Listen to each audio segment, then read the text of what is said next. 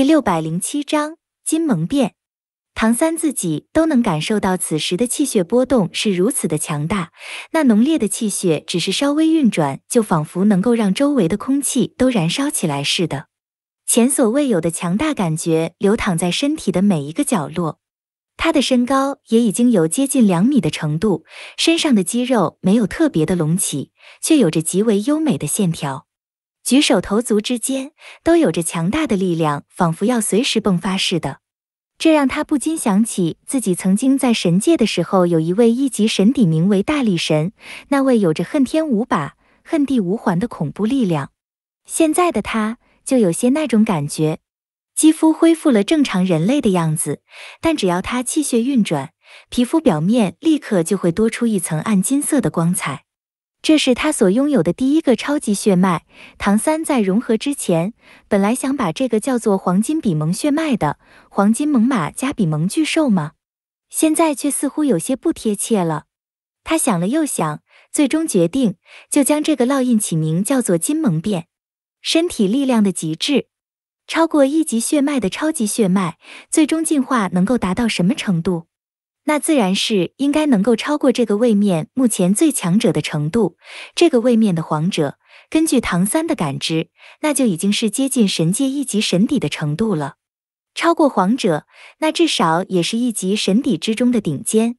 再强大的话，就要向神王层次去靠拢了。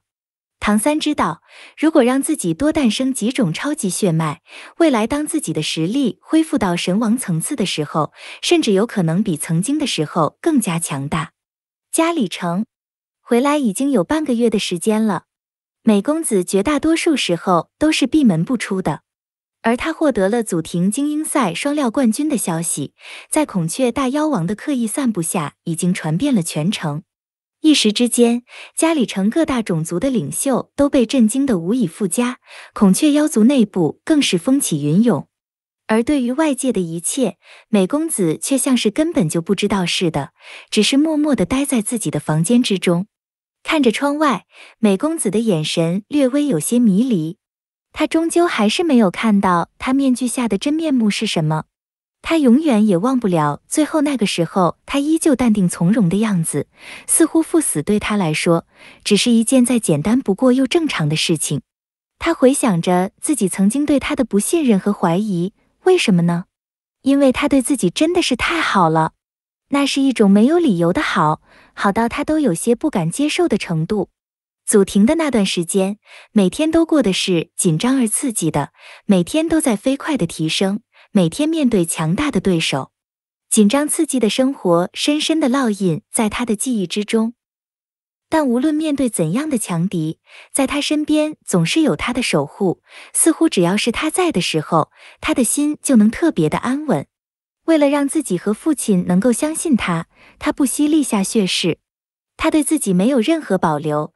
那血色剑影所代表的超神气，现在还留存在他的精神核心之中。是在他的帮助下，他才有了神识的雏形。哪怕现在每天不修炼，他的精神力都在与日俱增，修为也在朝着神级的方向在进化着。他带给自己的，甚至比父亲都要更多。可是，就是这样一个人，他就这么走了。他答应过自己的，让自己在大赛结束之后看到他的真面目。可是，哪怕到了最后，他依旧没有摘下面具。他究竟是长得什么样子呢？哥，你知道吗？我很想你，一直都很想你。我好后悔，为什么没有早一点强烈的要求你摘下面具？那样的话，至少我能将你的样子烙印在我心中。心又一次剧烈的抽痛起来，双眸再次的湿润了。咚咚咚！就在这时，敲门声响起。美公子深吸口气，抿紧红唇，将泪水强行的收了回去。请进。门开，一身盛装，看上去脸色红润，丝毫不像是伤重濒死的孔雀大妖王从外面走了进来。